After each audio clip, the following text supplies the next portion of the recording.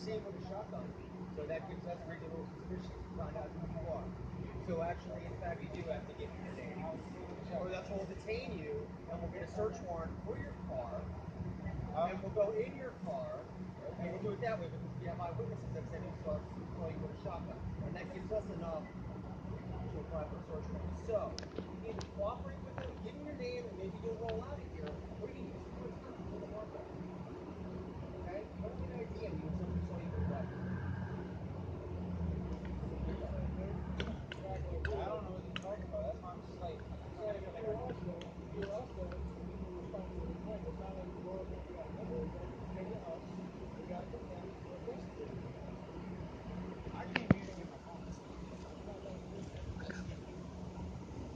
Right, right.